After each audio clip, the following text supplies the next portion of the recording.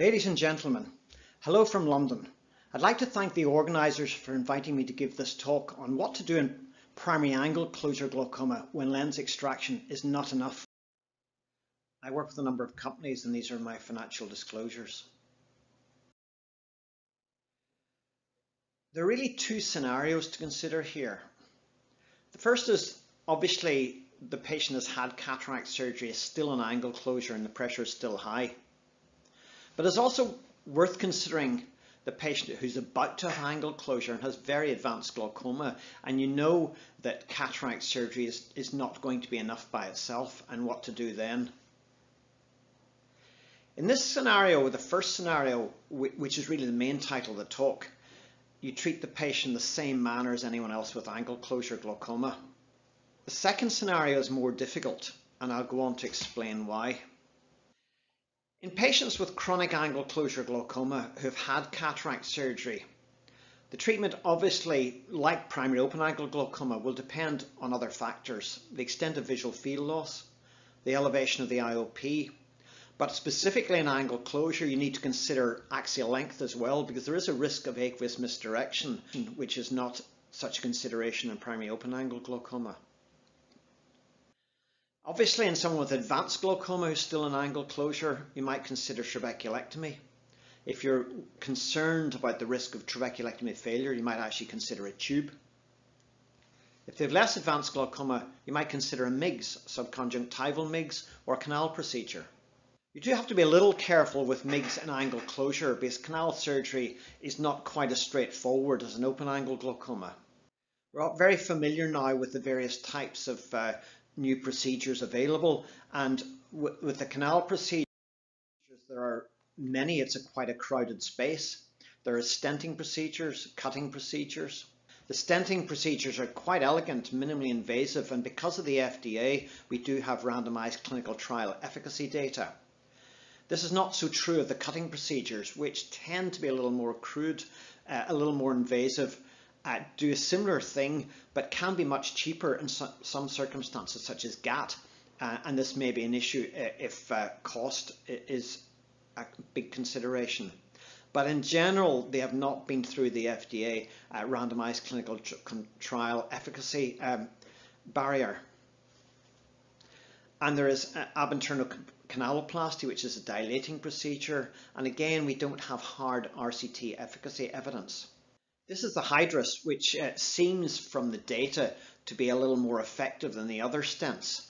But just to illustrate that Hydrus at 12 months in this randomized clinical trial increases percentage of patients getting a 20% pressure drop from 70% for phaco alone to 86% for uh, Hydrus and at 24 months the numbers are slightly less. But that was open angle glaucoma.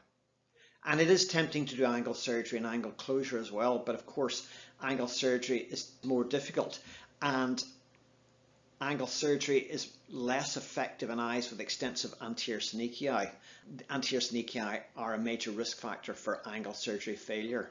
In eyes with advanced glaucoma, angle surgery, even if successful, is unlikely to produce low enough IOP to prevent progression. So in the patient who has had cataract surgery and is still in angle closure, canal surgery is controversial. Cutting procedures are very unlikely to function well with significant PAS. There's a higher risk of occlusion of stents in angle closure unless the angle is really widely open after the cataract. An angle closure glaucoma is often quite severe and this type of surgery may just not be effective enough. And this is an important consideration.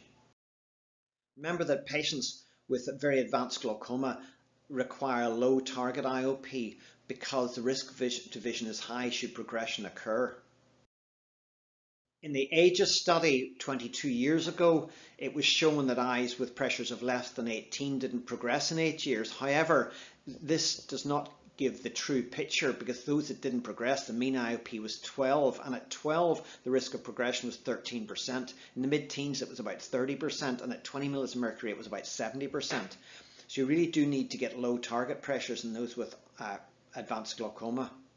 So it's worth noting that trabeculectomy is still the most effective glaucoma procedure in our portfolio for eyes with no other failure risk factors. And that's still why, that's why a crude operation is still around after 50 years. But trabeculectomy and angle closure is risky. It is riskier than it is in open angle glaucoma. Why? Well, there is a risk of aqueous misdirection. So you do have to put more sutures in, avoid prolonged anterior chamber shallowing, and perhaps use atropine on the table. So what about the subconjunctival MIGs such as the XEN implant on the left or the PreserFlo microshunt on the right? Well, we only have randomized clinical trial data for the PreserFlo. There isn't any randomized data for the XEN at present. And in the FDA study of PreserFlo versus TRAB in open angle glaucoma, uh, the PreserFlo reduced the pressure at one year from 21 to 14, which is a quite an impressive pressure drop. But TRAB reduced it from 21 to 11. So in patients with advanced glaucoma, subconjunctival MIGs do produce a greater IOP lowering than canal procedures, but they are a bit less effective than trabeculectomy. And all external filtration procedures seem to be less effective when combined with cataract surgery than when performed as standalone. And on top of that, external filtration, if, if you cannot control it, can result in aqueous misdirection. And these last two points are very important. TRABs are less effective when combined with cataract surgery. Subconjunctival MIGS also seems to be less effective when combined with cataract surgery. Even tubes seem to be less effective when combined with cataract surgery. And this was a study from Lausanne that, that showed that a combined Baerveldt phaco was actually a little less effective than, uh, than a Baerveldt al alone and the phaco performed separately. And an angle closure, if you want to put in a tube, there may be no space in the anterior chamber because of anterior synechiae or a narrow angle, so you may need to sulcus fixate the tube. The Paul glaucoma implant is a new tube with a smaller uh, diameter uh, externally at 467 microns and 127 internally that does offer um, the opportunity to put a tube in the anterior chamber uh, in eyes where there's less space. So that is one possibility. So an uncontrolled open angle glaucoma with cataract I tend to perform trabeculectomy, external MIGS or tube first and remove the cataract six months later. But an angle closure, this is not an option.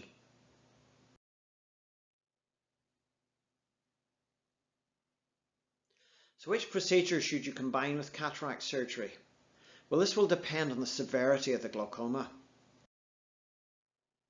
If a patient has had cataract surgery and is still an angle closure, Treat the patient the same way as anyone else with chronic angle closure. Canal procedure is less likely to be successful. External filtration, there is a small risk of aqueous misdirection. Sulcus tube may, placement may be required to avoid PAS or to avoid the cornea. If the patient is about to have cataract surgery but has advanced glaucoma or extensive PAS and cataract surgery is unlikely to be enough, then you've got to consider the same as above, except beware that when you're combining cataract surgery with glaucoma surgery, everything is a little less effective. And thank you very much for your attention and for the kind invitation.